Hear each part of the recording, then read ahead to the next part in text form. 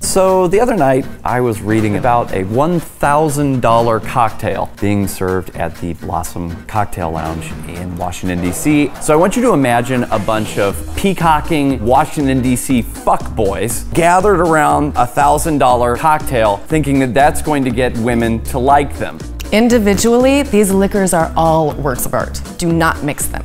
What happens if I do? You would be a DC fuckboy. Did someone say DC fuckboy? Look at all this booze. We should mix all this booze together. We're gonna. For a lot less than a $1,000. Well, I guess that makes sense. You're just gonna shit it out of your dick later anyway. Jesus Christ. so, instead of the 1942 Don Julio fancy schmancy pansies, we're going to do the Altos Olmeca 100% agave tequila. Dump them out. If you do this, it gets a nice little swirl going in there. Oh, See? Cool. Go like that. We it's like a tornado of bad decisions. Yeah, like your life. Okay, next we're gonna take the orange liqueur. I am only gonna use half a bottle of this. Because you want your proportions to not taste like absolute dog shit, unless you just wanna get shithouse hammered. Yeah. Yeah? Yeah. Shithouse hammered? Let's go. Whole bottle.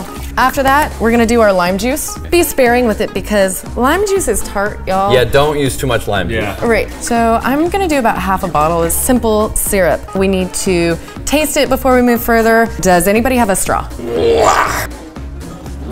Oh God. Jesus Christ. Put those two together. That's kind of perfect. Yeah. That's not bad. I could add a tiny more That's actually lime, really but isn't good. it perfect? No, that is Kinda actually perfect. Next, we're going to add ice.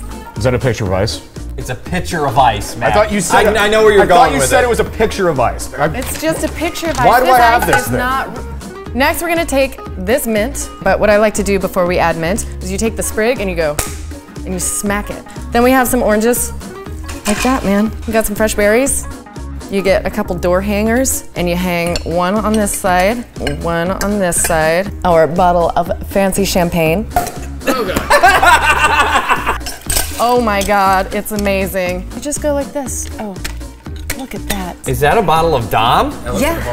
Why it is. So there it is. Now you've recreated the $1,000 Domarita for 60 bucks. You got $940 remaining. Why not buy the entire bar around a round of drinks? If you really want to get people's attention, I think that's a pretty good place to start. All right, who wants to try the Domarita?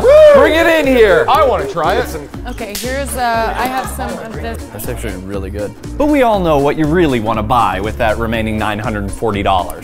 Blowjobs. Yes! You gotta call my blowjob guy. I got a guy who will do it for forty dollars. Shit, I got a guy who'll give you forty dollars. What's his number?